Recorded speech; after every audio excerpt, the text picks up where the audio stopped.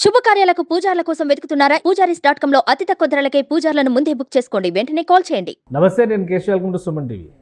ఆంధ్రప్రదేశ్లో చాలా కాలం తర్వాత గ్రీన్ బెల్ట్ పైన పచ్చదనం పైన ఆసక్తి పెరుగుతోంది. రాష్ట్ర ప్రభుత్వం వన మహోత్సవాల్ని టేకప్ చేసింది. ఈరోజు రాష్ట్ర వ్యాప్తంగా మంత్రులు ఎమ్మెల్యేలు ప్రజాప్రతినిధులు చివరికి ముఖ్యమంత్రి ఉప ముఖ్యమంత్రి కూడా ఈ కార్యక్రమాల్లో పాల్గొనడానికి ప్రాధాన్యత ఇచ్చారు.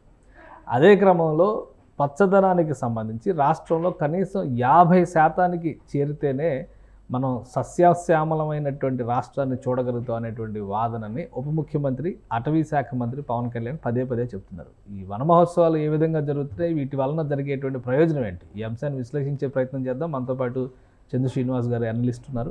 చంద్ర శ్రీనివాస్ గారు నమస్కారం. నమస్కారం వన మహోత్సవాలని ఐదేళ్ళ తర్వాత పచ్చదనం పరిశుభ్రత నీరు మీరు ఇట్లాంటివన్నీ కూడా ఇవన్నీ మర్చిపోయారు ఆంధ్రప్రదేశ్లో అయితే.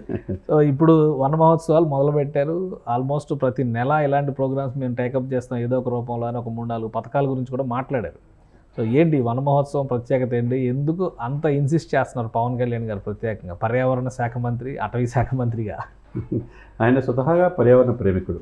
అంటే మొక్కలు మనకు మంచి చేస్తే మన మిత్రులు అని భావించే వ్యక్తి. కాబట్టి ఆంధ్రప్రదేశ్ ప్రజలకు అదృష్టమే. అటవీ శాఖ మంత్రి కూడా ఆయనే కాబట్టి ఈ రోజు జరిగే వన మహోత్సవం ఆల్రెడీ కేంద్ర ప్రభుత్వం కూడా పద్నాలుగు పాయింట్ ఐదు కోట్లు నిధులిచ్చింది. దాదాపు పన్నెండు నగరాల్లో స్టార్ట్ అయ్యి ఇది కంటిన్యూగా మిగతా నగరాలు కూడా విస్తరించాలి అని ఉద్దేశం. మీరు అన్నట్టు యాభై శాతం పెంచాలంటే ఇప్పుడు ముందు ఇరవై తొమ్మిది శాతం అటవీ. ఇరవై ఒక్క శాతం పెంచాలి. ఇరవై ఒక శాతం పెంచాలి. ఆ పెంచే దిశగా మనం ప్రతి ఒక్కరు సామాజిక బాధ్యతగా వెళ్ళమంటున్నారు. మొన్న మీరు చూస్తే అనంతపురం అక్కడ వెళ్ళినప్పుడు కడప రాయలసీమ వెళ్ళినప్పుడు కూడా ప్రాజెక్టులు సందర్శించినప్పుడు ఈ ప్రాజెక్టుల మాటన ఈ యొక్క పర్యావరణం కూడా పెంచాలి మొక్కలు కూడా పెంచాలని పిలిపించారు. అంటే సైమెంటేనియస్గా వాటితో పాటు కూడా మొక్కలు పెంచుకుంటే అది మనకి మీరు పర్యావరణ సమతౌల్యం అనేది. దెబ్బతినకుండా అందరికీ మేలు చేస్తుంది అనే ఉద్దేశంతో ఈ పిలుపు ఇవ్వటం మనం ఆహ్వానించదగ్గ పరిణామం కేశవ గారు? ఎందుకంటే ఆంధ్రప్రదేశ్లో నేషనల్ యావరేజ్ కంటే ఈ గ్రీన్ బెల్ట్ కవరేజ్ విషయంలో ఓవరాల్గా జాతీయ స్థాయిలో ఉన్నటువంటి వనరుల రీత్యా చూస్తే కనీసం ముప్పై మూడు శాతం ఉండాలని అంచనాలు ఉంటాయి ఆంధ్రప్రదేశ్లో షార్ట్ ఫాల్ ఉంది. ఇది పెంచడం అనేది సాధ్యం అవుతుందా ఒక పక్కన యథేచ్ఛగా అర్బనైజేషన్ పట్టణీకరణ జరుగుతుంది చెట్ల నరికివేతలు జరుగుతున్నాయి. ఇప్పుడు ప్రభుత్వం ఇలాంటి పథకాలు తీసుకోవడం వలన ఆ- ఇన్సిస్ట్ ఆ- కోరిక అనేది ప్రజల్లో ఆ ఆకాంక్ష అనేది పెరుగుతుందా పెరగడానికి అవకాశం ఉందా? డెఫినెట్గా ఉంటుంది కదా. మనం ఇప్పుడు చూసుకున్నాం సార్. ఇప్పుడు పుష్ప సినిమా లాంటి సినిమాలు షూటింగ్లు చాలా ఇంకా ఇంపార్టెంట్ చారిత్రక నేపథ్యంలో షూటింగ్లన్నీ ఎక్కడ జరుగుతాయి? మనకు వచ్చేసరికి ఆ, ఈస్ట్ గోదావరి జిల్లా దానికి సంబంధించిన కొన్ని ప్లేస్లు ఉన్నాయి సార్. ఫారెస్ట్. ఆ ప్లేస్లు అక్కడ జరుగుతుంటాయి. మరి అక్కడే ఎందుకు జరుగుతున్నాయి? అటవీ సంపద పర్యావరణ సమతుల్యం ఉంది కాబట్టే కదా? అక్కడ జరుగుతూ ఉన్నాయి. అదేవిధంగా ఉత్తరాంధ్రలో మనం చూసుకుంటే విశాఖపట్నం ఆ సరౌండింగ్ కూడా మొక్కలు ఉన్నాయి. అదేవిధంగా ఇటు చూసుకుంటే ప్రకాశం దొనకొండ ఈ ప్రాంతాల్లో ఉన్నాయి. తర్వాత అమరావతి రాజధాని పరిసరాల్లో ఉన్నాయి. కాకపోతే ఇక్కడ లేనిది ఎక్కడైతే ఉందో అక్కడ ఆ ప్లేసుల్లో పర్యావరణాన్ని మొక్కలు పెంచడం ద్వారా గ్రీన్ బెల్ట్ డెవలప్ చేసుకుందాం అనే ఆలోచన అనేది మంచి పరిణామం. మీరు ఏదైతే ఒక ఒక ప్రయత్నం అనేది చేయాలి కదా. ప్రతి ఒక్కరు మొక్కలు నాటడం ఒక సామాజిక బాధ్యతగా వాళ్ళు తీసుకోవాలి.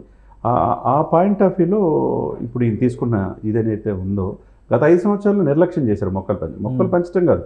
వంద సంవత్సరాలు పెరిగిన చెట్లు కూడా కూలగొట్టేస్తారు. అంటే రహదారుల విస్తరణ కావచ్చు లేకపోతే ముఖ్యమంత్రి గారు వస్తున్న భావన కావచ్చు. అట్లా నగరీకరణ అనే పేరుతో కొట్టేస్తే ఆ చెట్లు కూడా బెంగళూరులో ఏమైందో మనం చూసాం. చివరికి. తాగడానికి మంచినీళ్ళు కూడా లేవు చివరికి వాయనాడు ఎలా అయిందో పరిస్థితి మనకు తెలుసు. అదేవిధంగా అనేక ప్లేసులు ఏంటంటే పర్యావరణ సమతుల్యం లేకపోతే ఆ, మనుషులకే ఇబ్బంది జరుగుతుంది అంటే. ఆ- పాయింట్ ఆఫ్ వ్యూలో ఈయన తీసుకున్న. ఏంటి ఇప్పుడు యాక్షన్ ప్లాన్ ఏంటి ఆల్రెడీ సెంట్రల్ గవర్నమెంట్ పదిహేను వేల పదిహేను పాయింట్ నాలుగు కోట్ల రూపాయలు శాంక్షన్ చేసింది ఈ పట్టణీకరణకు సంబంధించి అంటే అర్బన్ ఫారెస్టేషన్కి సంబంధించి నగర వనాలు అనేటువంటి కాన్సెప్ట్తో కొత్తగా పదకొండు నగర వనాలను డెవలప్ చేస్తామని రాష్ట్ర ప్రభుత్వం ప్రకటించింది వన మహోత్సవంలో ఈ కాన్సెప్ట్స్ అన్నిటిని కూడా ఎలాగా ప్లాన్ చేస్తున్నారు? తప్పకుండా అంటే ఇప్పుడు చెట్లు మనం వాళ్ళు వాళ్ళు చెప్పింది ఏంటంటే దేశీయ ఇదిని పెంచండి మొక్కల్ని. దేశీయ రకం మొక్కలు. దేశీయ రకం మొక్కలు. అంటే ఇది గతంలో జరిగింది ఏంటంటే పర్యావరణ సమతుల్యం కోసం అయ్యే పెంచాలి. మడగాస్కర్ ఆల్మోను ఆస్ట్రేలియా తుమ్మ ఇటువంటి పెంచడం వల్ల సమతుల్యం దెబ్బతినిద్ది దీనివల్ల. ఆవులకు కూడా ఇబ్బంది కలుగుద్ది అవి కాకుండా మన ఉసిరి మనకి రావి చెట్టు కావచ్చు ఉసిరి కావచ్చు మిగతా వేప కావచ్చు కార్తీక వన భోజనాలు మనం ఎప్పుడు చేసుకుంటాం ఉసిరి చెట్టు. పెట్టుకొని చేసుకుంటాం. అటువంటి దేశీయకి సంబంధించిన రకాలను పెంచి ఈ అరబ్ కంట్రీస్లో తర్వాత తమిళనాడులో తర్వాత తెలంగాణలో మిగతా రాష్ట్రాల్లో ఈ వీటిని విదేశీ ఇదిని తీసేశారు పూర్తిగా. అటువంటి మనం పెంచకుండా దేశీయంగా పెరిగిన పెంచడం వల్ల దేశీయ చెట్లు పెంచితే ఆ పెంచితే ఆ మొక్కలు నాటితే దానివల్ల పర్యావరణ సమతుల్యం అనేది ఉంటుంది అనేది ఫస్ట్ టైం ఈ ప్రయత్నం చేయటం. గత ప్రభుత్వాలు ఏంటంటే కోనోకార్పస్ జాతి మొక్కలు పెంచడం వల్ల దానివల్ల ఉపయోగం లేకపోగా ఇబ్బంది పర్యావరణ సమతుల్యం. కాబట్టి అవన్నీ తీసేసి మన దేశీయ మొక్కలు అనేది ఏదైతే ఉన్నదో చింత కావచ్చు ఉసిరి కావచ్చు రా- రావి కావచ్చు శ్రీగంధం కావచ్చు ఈ పెంచాలి అనేది ఫస్ట్ టైం ఈ స్టెప్ తీసుకోవటం. దానికి ఎంతైనా ప్రభుత్వం భరిస్తుంది. కాబట్టి మీరు ప్రతి ఒక్కరు కూడా ఒక మొక్క నాటితే ఆ మొక్క మనకి మంచి జీవితాన్ని ఇస్తుంది అనేది అటవీ శాఖ మంత్రిగా పవన్ కళ్యాణ్ గారి సందేశం. ఆయన అన్ని ప్లేసుల్లో వెళ్ళకపోవచ్చు.